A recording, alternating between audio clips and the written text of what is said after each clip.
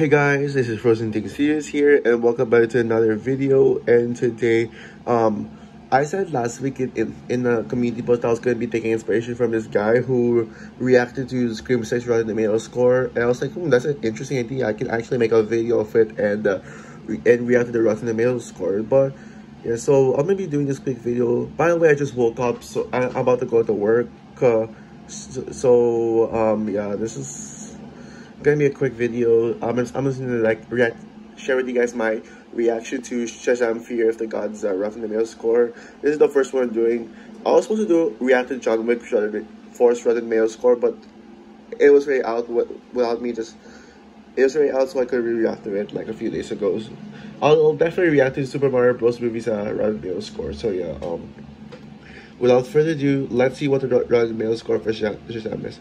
I'm a little worried now. I think it could get like mixed reviews. Um, I'm hearing some mixed stuff about it. Like some people love it, some people say say it's disappointing, and and uh, the, and not as good as the first film. But yeah, I I don't expect high, high a high rating, but I hope it's at least good. So yeah, like at least sixty, I think, sixty percent something like that. Uh, yeah, let's do this.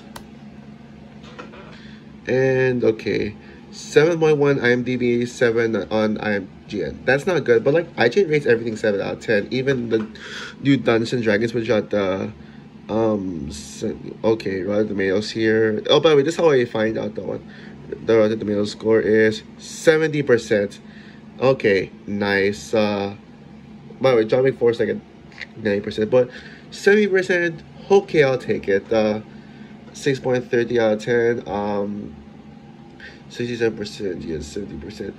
I hope it doesn't uh, go rotten because normally superhero movies when they start with 70% uh, they would um, when they start with the 70% rotten tomatoes they would um, go downhill to um, like rotten. It, will probably like go down rotten.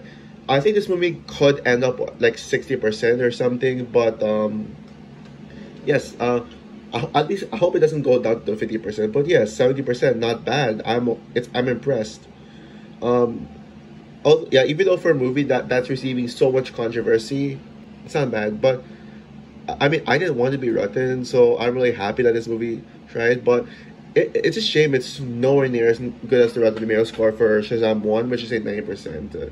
So yeah, that's all for my video reacting to Sh Shazam Fury of the Gods Rotten Tomato score. The next movie I will react to the Rotten Tomato score is for the Super Mario Bros. movie.